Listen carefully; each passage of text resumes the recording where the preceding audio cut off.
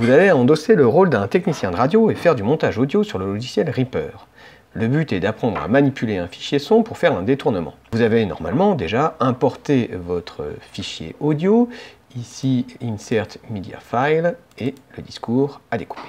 Avant toute chose, décochez l'option Snap, le petit aimant, qui vous empêche d'être précis car il vous positionne sur la grille. Pour découper un fichier en deux, placez votre curseur à l'endroit voulu et appuyez sur la touche S. Pour supprimer les parties inutiles, sélectionnez et appuyez sur Supr. Si vous avez fait une erreur, pas de problème, vous avez toujours le fameux CTRL Z. Déplacez ensuite les éléments aux endroits voulus. Remarquez au passage les éléments qui se chevauchent et qui font automatiquement un fondu enchaîné.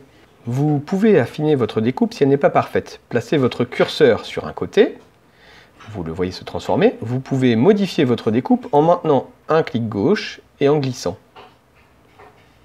Et voilà le résultat final que vous devez obtenir. Pas facile d'embrasser de la chute de l'Empire romain à une période confuse il y a tout juste un an. Bonne chance